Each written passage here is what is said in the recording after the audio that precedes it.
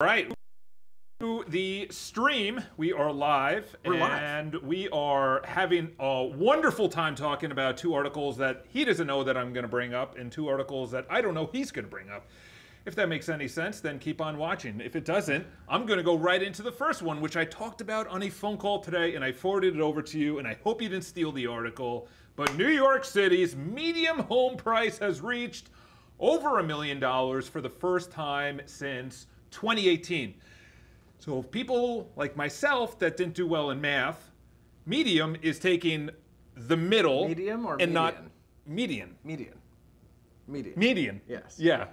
Thank you for the correction. But that's a good way to think about it. It is in It's the, middle. Yeah. Yeah.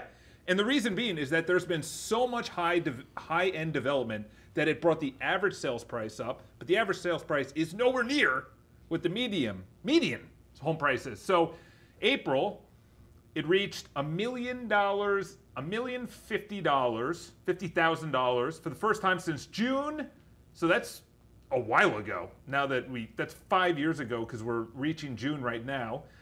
And we talked about the reasons behind it, but let me just give a couple more statistics if, if I can. Please, because I would like to know. April 2023, 2,100 listings went into contract. That is one third fewer than last year. What was last year? Low interest rates. So the amount of days on the market is so you literally have Lower interest rates. lower half almost. That's really I what it comes we're down pretty to. far into it. They had already started. Yeah, but think so they went into contract or they started negotiating before. In other words, they locked it in and mm-hmm. then they went into contract. But think about that: one third less contracts, but the median price is higher. One third less contracts, the same amount of inventory, days on the market is almost the same as last year, 17 days less. But this is the last statistic: is that inventory across the nation? Give you guys some love outside of New York City. Is inventory in April was almost 46%, almost 50% less than April 2019. Almost hmm. 50% less. 50% less throughout the. So anyone that's talking about a recession or all this, maybe in the commercial side, I don't even, th- you know, that's that's all getting bought up by the way, uh, or at least transferred. So that's I went on a rant. What's your thoughts? What's driving this? We both know. What is it? What is Rents. driving it? Rent. Yeah. Rents. So I was thinking that's a good point you made because Need to the move. average is probably higher because of the new development sales Yeah. and the higher prices on that, but the median would probably be from the smaller apartments. That's the most being reflective sold of at a higher price. New York City is the median instead of the average.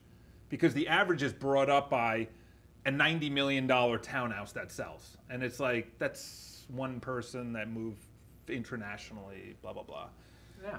So high rents are pushing everything up. Uh, we, I took out a buyer yesterday.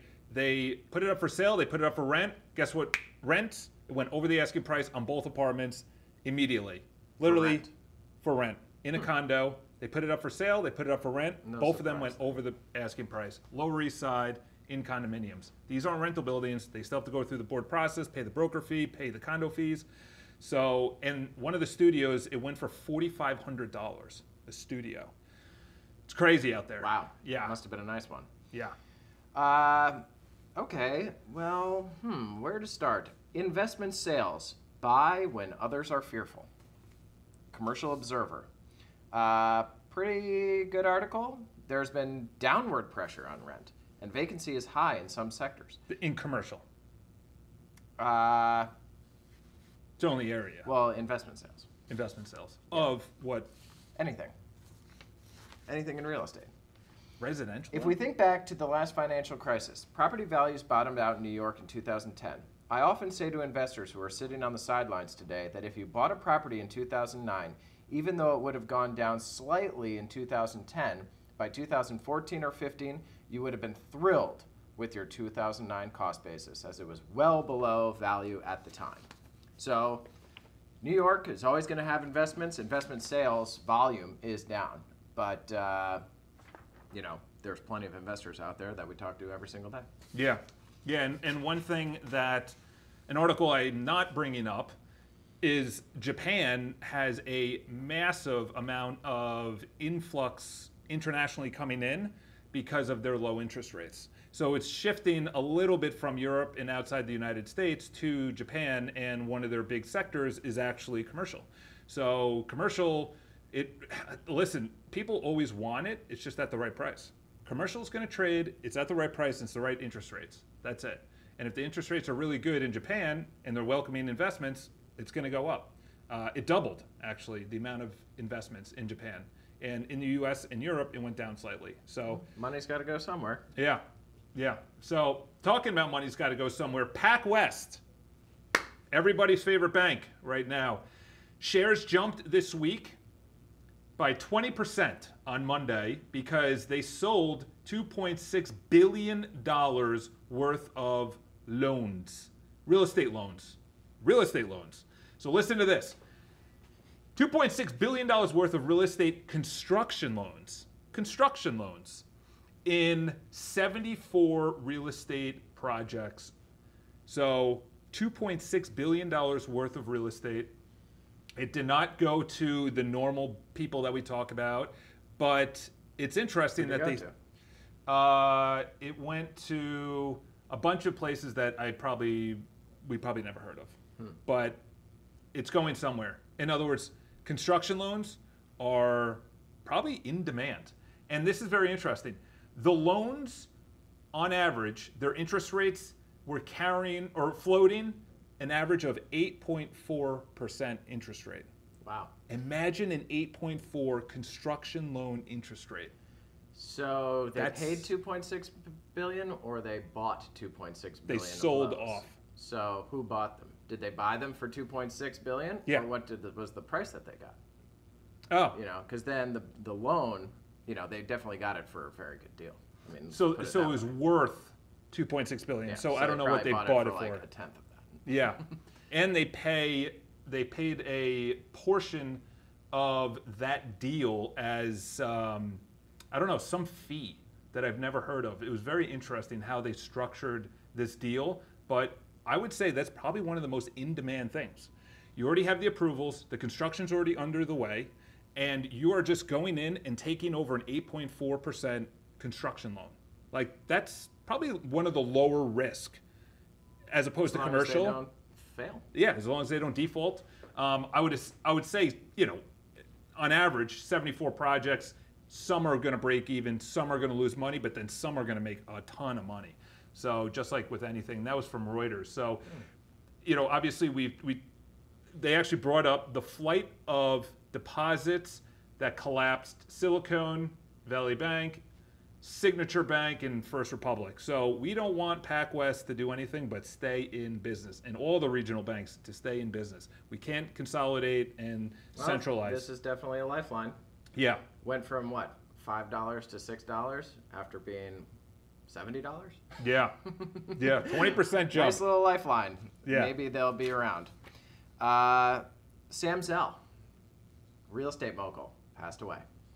That is a legend in the real estate business, so you couldn't get very far without hearing about him passing away at 81. Wow. Uh, great article about him in the Wall Street Journal. If you don't know, he was the grave dancer. So he would go buy distressed properties in uh, Chicago, was where he started, and properties that nobody wanted, and then made a lot of money off of them. So he's got a lot. He's the owner of Equity Residential, which you know is all over the city. There was a very Gigantic interesting company. article about uh, his portfolio, all the places that he owns, all the assets he owns, and I mean he was in every different type of business. It wasn't even just real estate. Afterwards, he got into all these different uh, media and this and that. It, really, really great story. And since he, he has a good book too. Uh, don't remember what it's called, but I listened to it because on audio it was him speaking it. So it was in his like raspy voice, which was really good. I also saw him one time at a real estate seminar.